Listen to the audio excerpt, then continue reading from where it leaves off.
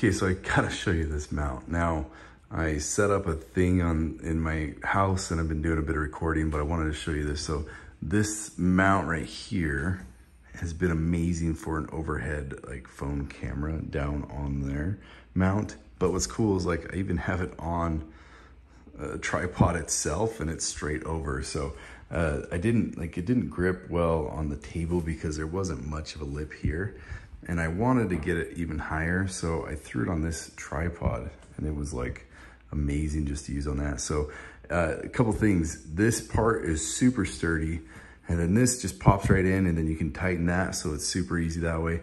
These move very easy. Uh, you just unlock it and then you can pull these off and this was super intuitive. So these things you just kind of, you just move this and it screws these right on and you can take out a chunk too if you want to shorten it. And then the end of it, so it does come with all of this. The ball part, I was worried about being able to do a 90 for the phone mount, but it, you know, the ball part does have a spot where it can go down. So that was, that issue wasn't an issue. I was, I was worried it was going to be, but it ended up not.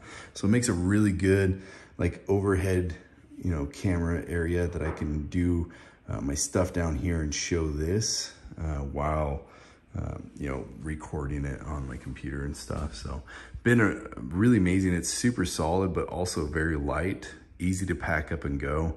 Highly recommend this this guy right here if you guys are looking for some good overhead uh, camera. Even if you got a DSLR or if you're using your phone, either one, this thing this thing has been pretty amazing, and I'm super impressed with it.